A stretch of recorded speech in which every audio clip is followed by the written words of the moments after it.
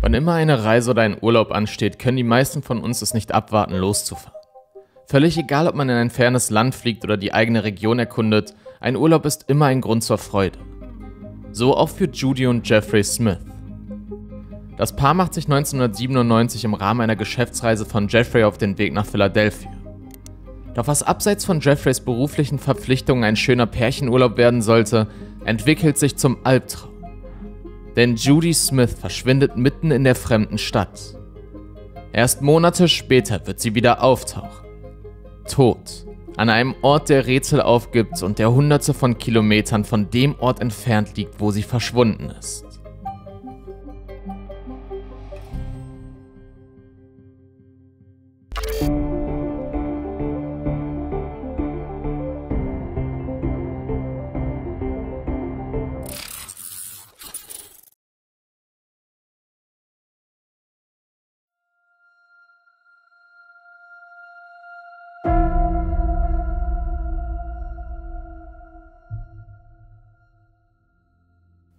Vor der Reise, von der sie niemals zurückkehren wird, geht es Judy Smith gut.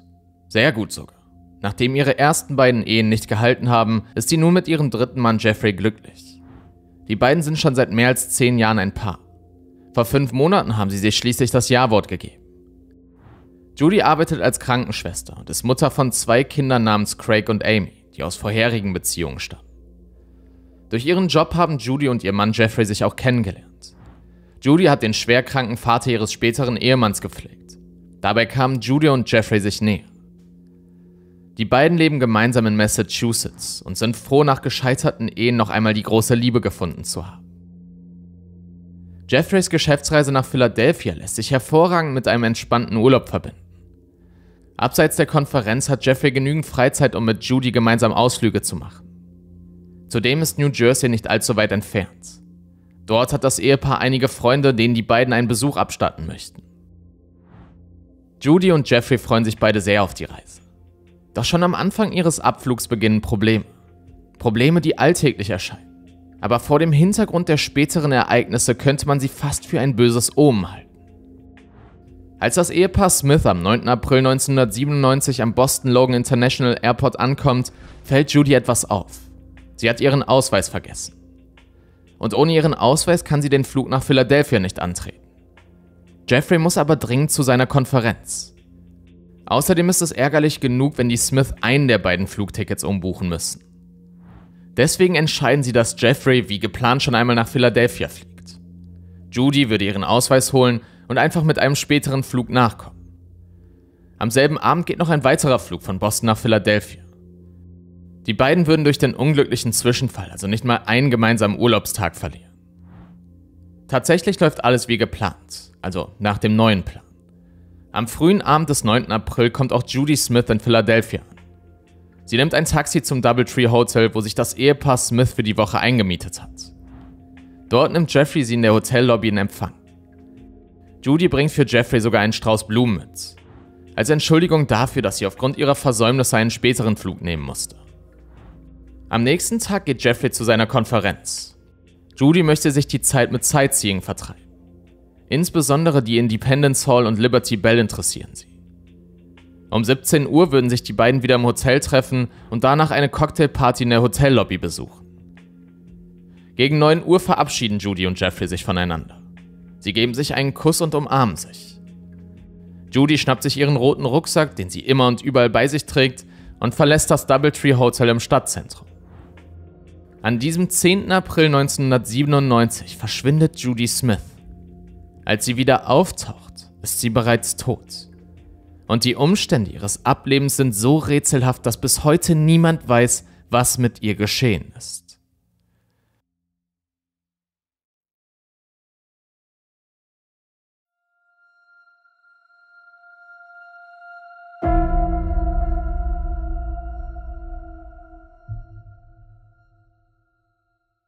Zunächst denkt Jeffrey am Abend noch, Judy würde sich einfach verspäten. Dass sie vielleicht die Zeit vergessen oder noch bei einer der Sehenswürdigkeiten der Stadt verweilen würde. Aber seine Frau taucht nicht auf. Ihre Habseligkeiten fehlen im Hotelzimmer. Ihr roter Rucksack, ihr Portemonnaie und Bargeld fehlen. Judy ist von ihrem Ausflug also nicht zwischenzeitlich zurückgekehrt, sondern schon den ganzen Tag unterwegs. Jeffrey schaut sich auch auf der Cocktailparty um, die im Untergeschoss des Hotels stattfindet. Aber auch dort findet er keine Spur von Judy. So gegen 18.30 Uhr fing ich an, mir Sorgen zu machen. Pünktlichkeit war ihr sehr wichtig. Wenn man pünktlich war, war man bei ihren Standards eigentlich schon eher spät dran. Jeffrey spricht mit einem Hotelconcierge, der sofort anbietet, die umliegenden Krankenhäuser abzutelefonieren. Vielleicht ist Judy etwas zugestoßen und sie sitzt in irgendeiner Notaufnahme in Philadelphia. Das Ehepaar hat am Morgen noch genau darüber gesprochen, was Judy sich an diesem Tag in Philadelphia ansehen wollte. Also entscheidet Jeffrey sich kurzerhand dazu, sich in ein Taxi zu setzen. Judy wollte an diesem Tag mit einem City-Tour-Bus die Stadt erkunden. Gemeinsam fahren Jeffrey und der Taxifahrer die Route des Busses ab. Noch immer hofft Jeffrey, seine Frau irgendwo im Vorbeifahren sehen zu können. Vielleicht in einem Restaurant sitzend, in einer Warteschlange stehend oder verloren am Straßenrand, weil sie die Orientierung verloren hat. Aber auch dieser Versuch ist vergeblich. Also meldet Jeffrey sich bei der Polizei. Dort wird er jedoch abgewimmelt. Da Judy eine erwachsene Frau ist, darf sie über ihren Aufenthaltsort frei entscheiden. Nach erst einem knappen Tag ist es schlichtweg zu früh, um sie vermisst zu melden. Jeffrey bleibt nichts anderes übrig, als sich von der Polizei beruhigen zu lassen. Sicherlich würde Judy Smith bald wieder im Hotel auftauchen. Doch auch über Nacht kehrt Judy nicht zurück. In seiner Verzweiflung wendet Jeffrey sich direkt an den Bürgermeister von Philadelphia.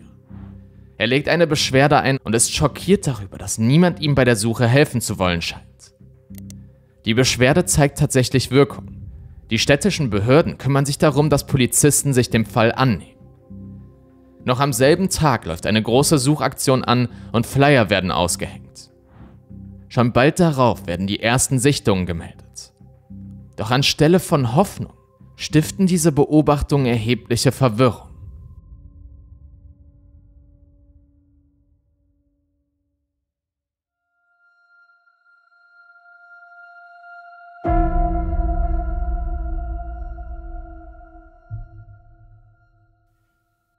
Eine Mitarbeiterin des Doubletree Hotels erinnert sich daran, dass Judy sie am Morgen ihres Verschwindens angesprochen habe.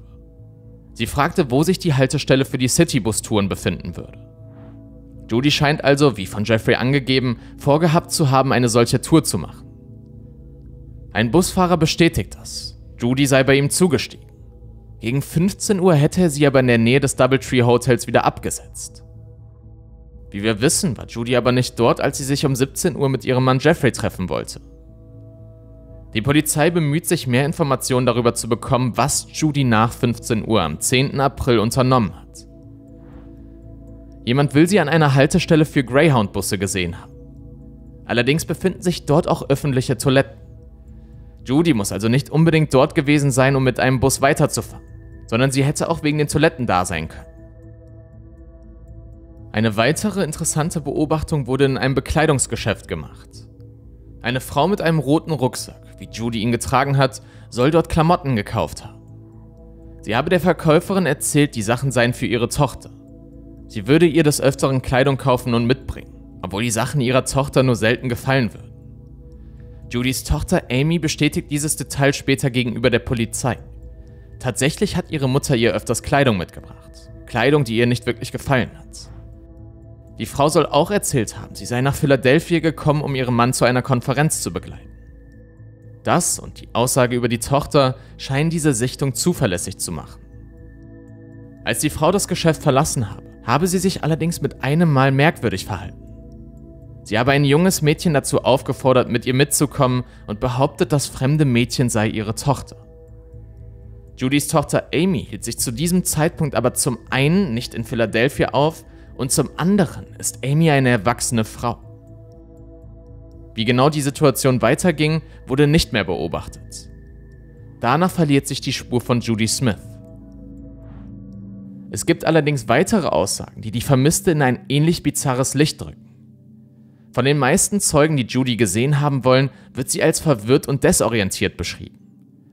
Sie sollen Restaurants, Bekleidungsgeschäften und beim scheinbar ziellosen Herumstreunern durch die Stadt gesehen worden sein.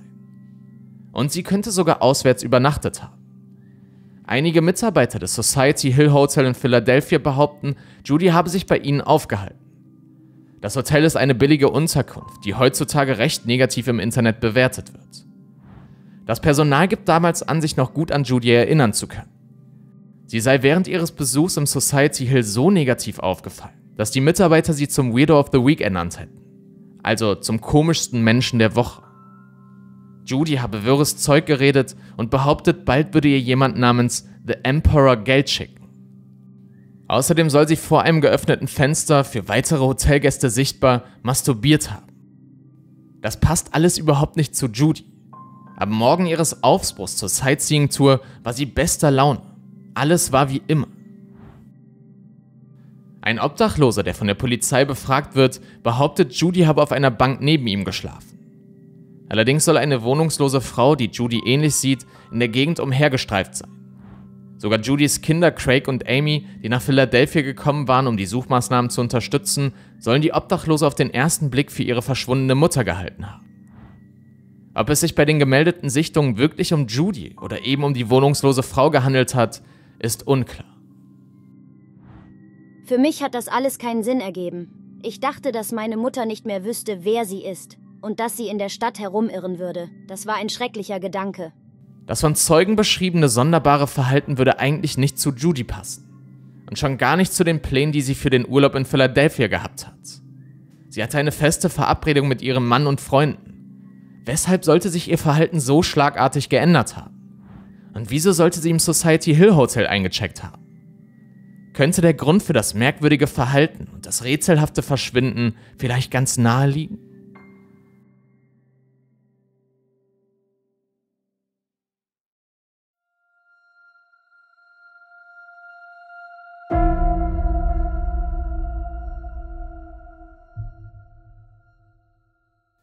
Wenn die Polizei nach einer vermissten Person sucht, ist es üblich, dass zuerst das nahe Umfeld unter die Lupe genommen wird. Die Person, die Judy am nächsten ist, ist ihr Ehemann Jeffrey. Er ist auch derjenige, der die Reise mit Judy geplant hat. Und die Person, die Judy als letztes gesehen hat, bevor sie zu ihrem Ausflug aufgebrochen ist. Also beginnen die Ermittler Jeffrey Smith eingehend unter die Lupe zu nehmen. Einige Polizisten halten Jeffrey für dringend verdächtig. Laut verschiedener Berichte soll er einen Lügendetektortest verweigert haben. Allerdings gibt es keine Hinweise darauf, dass Jeffrey seiner Frau etwas angetan haben könnte, geschweige denn ein Motiv dafür hat. Freunde und Familie sind sich ganz sicher, dass er nicht der Schlüssel zur Lösung des Falles ist. Daraufhin wird es auch erst einmal ruhig um den Fall. Erst fünf Monate nach Judys Verschwinden, am 7. September 1997, gibt es neue Entwicklungen. Entwicklungen, die den gesamten Fall Judy Smith auf den Kopf stellen. Der Pisgah National Forest im US-Bundesstaat North Carolina ist mehr als 950 Kilometer von Philadelphia entfernt.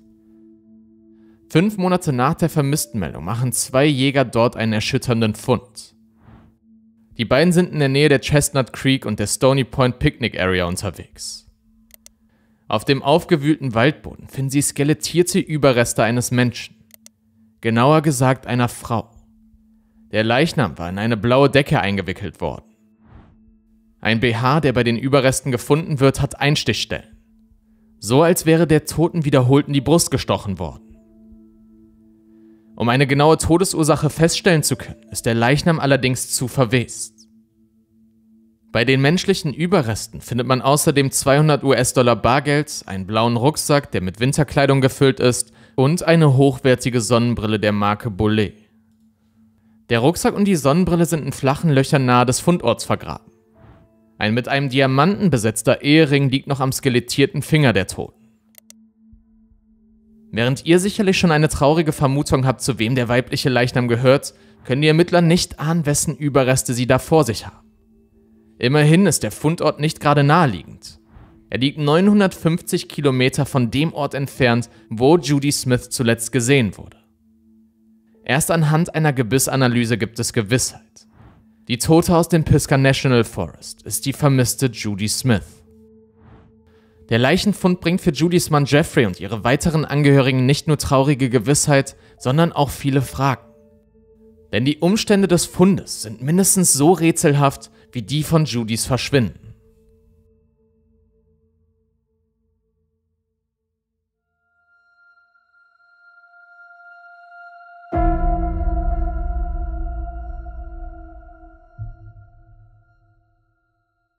Zunächst einmal wäre da die offensichtlichste Frage. Wie ist die vermisste Judy Smith von Philadelphia aus ins mehr als 950 Kilometer entfernte North Carolina gekommen? Laut Jeffrey, mit dem sie immerhin zehn Jahre lang zusammengelebt hatte, gab es nie einen Plan, dorthin zu reisen. Noch dazu ist die Gegend, in der Judy gefunden wurde, sehr abgelegen. So tief in den Pisgah National Forest gelangt man nur, wenn man sich auskennt oder eine anspruchsvolle Wanderung unternehmen möchte. Der Ehering, der bei Judys Leichnam gefunden wurde, gehört tatsächlich ihr. Die Sonnenbrille und der blaue Rucksack allerdings nicht. Von ihrem eigenen roten Rucksack, mit dem sie am Tag ihres Verschwindens im Hotel aufgebrochen war, fehlt jede Spur. Die Kleidung, die Judy trug, als sie starb, hat ihr Mann Jeffrey noch nie gesehen. Auch die Polizei ist verblüfft, denn es handelt sich um nagelneue, hochwertige Wanderkleidung. Judy scheint sich mit Thermounterwäsche, Wanderstiefeln und einer neuen Jeans ausgestattet zu haben. Daraus leitet die Polizei ab, dass Judy diese Wanderkleidung wahrscheinlich in North Carolina selbst gekauft hat und dann zu einer Wanderung in den Pisgah National Forest aufgebrochen ist. Das Bizarre daran, Judy litt unter schwerer Arthrose in ihrem Knie. Eine Wanderung durch den Pisgah Forest wäre für sie mit erheblicher Anstrengung und auch Schmerzen verbunden. Dass ihr Mörder Judys Leiche einfach im Wald abgelegen hat, ist unwahrscheinlich. Auch weil die nächste Straße weit von der Fundstelle entfernt ist. Egal wo die Polizisten ansetzen, immer wieder kommen sie zur selben Frage zurück. Wie und warum ist Judy nach North Carolina gekommen? Und wie, warum und wann begegnete sie ihrem Mörder?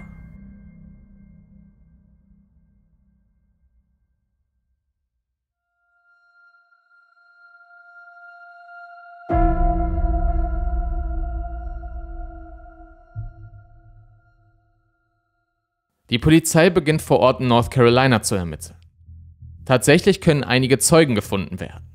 Vier Personen behaupten unabhängig voneinander, Judy Smith in der Stadt Asheville gesehen zu haben. Eine von ihnen ist die Inhaberin eines kleinen Geschäfts in der Stadt. Sie gibt an, Judy sei mit einem grauen Auto bei ihr vorgefahren. Sie habe mehrere Sandwiches im Wert von 30 US-Dollar und einen Spielzeug-LKW gekauft. Die Sichtung wird von der Polizei als verlässlich eingeschätzt wirft aber zahlreiche Fragen auf. Woher sollte Judy das graue Auto gehabt haben? Und für wen hätte sie einen Spielzeug-LKW kaufen sollen? Die Sandwiches könnten darauf hindeuten, dass sie Proviant für einen längeren Ausflug gebraucht haben könnte. Es gibt noch eine weitere Verkäuferin eines anderen Geschäfts, die angibt, dass Judy Smith in ihren Laden gekommen sei. Die Begegnung habe sich nur wenige Tage nach ihrem Verschwinden in Philadelphia zugetragen.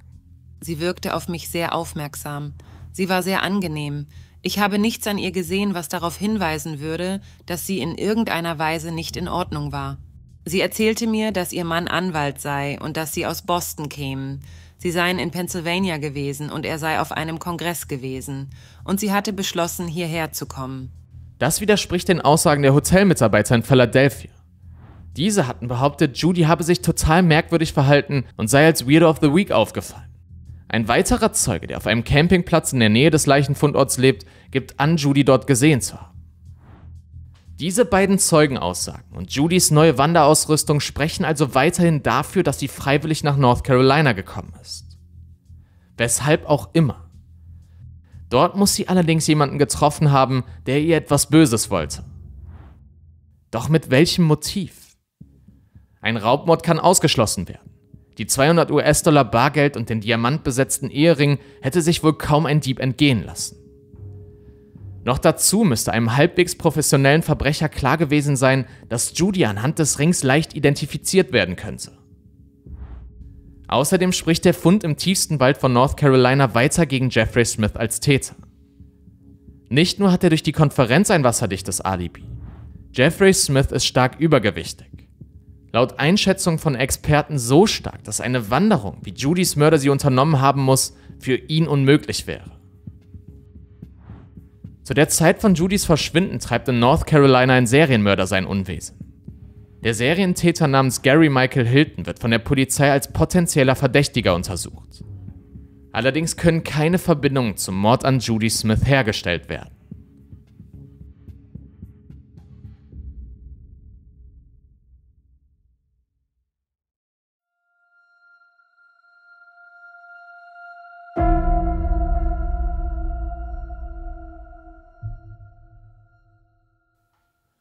Als Jeffrey und Judys Kinder Amy und Craig von ihrer Suche in Philadelphia ergebnislos zurückkehren, geben sie noch nicht auf.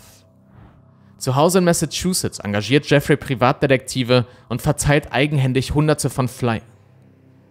Doch weder die beauftragten Privatermittler noch die Behörden können verhindern, dass der Fall Judy Smith zum Cold Case wird. Selbst erfahrene Ermittler sind angesichts der Indizienlage ratlos. Einige Polizeibeamte glauben, Judy habe eine Art Midlife-Crisis gehabt und sei deshalb alleine nach North Carolina gereist. Dort könnte sie ihrem Mörder zufällig begegnet sein. Doch Judys Familie glaubt nicht daran. Laut ihnen war Judy in der Zeit vor ihrem Verschwinden mehr als zufrieden. Nur eine einzige Freundin von Judy äußert sich skeptisch. Sie sagt, zu der Zeit, als das geschah, war die Ehe von Jeff und Judy sehr zerbrechlich. Ich glaube, dass irgendetwas passiert ist, das sie dazu veranlasst hat, sich eine Auszeit von Jeff zu nehmen. Doch mit ihrer Reise nach North Carolina hätte Judy ja nicht nur Jeffrey zurückgelassen, sondern auch weitere Familienmitglieder, Freunde und vor allem ihre Kinder Craig und Amy. Jeffrey Smith zieht sich in den nächsten Jahren immer weiter zurück. Als Anwalt nimmt er nur noch sporadisch Aufträge an. Er sagt nun, da er selbst auf der Opferseite steht, könne er es nicht mehr mit seinem Gewissen vereinbaren, Verbrecher zu vertreten. Judy war fürsorglich, herzlich, verantwortungsbewusst und jemand, den ich sehr geliebt habe. Zu Judys Tochter Amy und ihrem Sohn Craig hat er weiterhin ein gutes Verhältnis. Doch Jeffrey soll sehr darunter gelitten haben, nichts zur Lösung des Falls seiner ermordeten Ehefrau beigetragen zu haben. Denn bis heute weiß niemand, was im Frühling 1997 mit Judy Smith geschehen ist.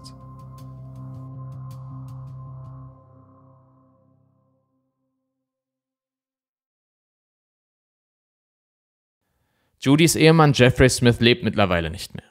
Er ist 2005, acht Jahre nach dem Mord an seiner Frau, verstorben. 2016 wurde die Akte zum Fall Judy Smith noch einmal geöffnet. Leider gab es keine neuen Erkenntnisse. Und damit wurde er wieder geschlossen. Der Fall ist mittlerweile ein sehr bekannter Cold Case. Seine vielen Ungereimtheiten lassen Spielraum für zahlreiche Theorien und Spekulationen. Natürlich würde mich auch interessieren, was ihr zu dem Fall denkt. Was glaubt ihr, was ist mit Judy Smith passiert? Was wollte sie in North Carolina? Und wie könnte es dazu gekommen sein, dass sie dort ihren Mörder traf? Ich bin wirklich gespannt auf eure Gedanken. Dazu kommt auch noch, dass ihr mit einem Kommentar den Kanal unterstützt. Und mit einem Like und Abo. Aktiviert auch gerne die Glocke, so verpasst ihr kein Video mehr und so bekommt das Video kurz nach dem Upload viel Interaktion. Und das ist wichtig, damit das Video Leuten vorgeschlagen wird, die Insolito noch nicht abonniert haben. Vielen Dank schon einmal im Voraus und auch vielen Dank fürs Zusehen. Ich hoffe, ihr habt noch einen guten Morgen, Mittag oder Abend oder je nachdem, wann ihr das Video seht und hoffe, dass wir uns im nächsten Video wiedersehen. Bis dahin. Ciao Leute.